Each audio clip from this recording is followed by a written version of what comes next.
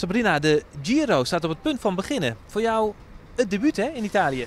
Ja, zeker. Eh, Het is, pas, het is mijn eerste jaar eh, dat ik de Giro rijd, dus eh, ik heb er heel veel zin in.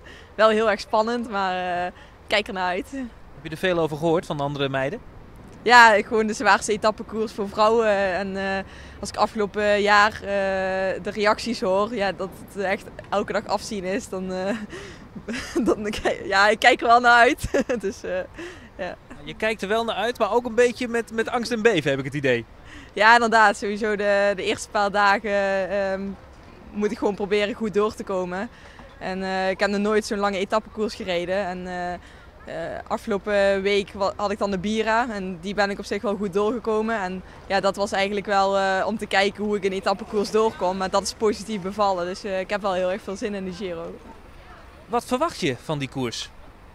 Ehm, ja, voornamelijk om te kijken eh, hoe ik zo'n eh, etappekoers uit kan rijden. En eh, ik ook hoop hem natuurlijk ook uit te rijden.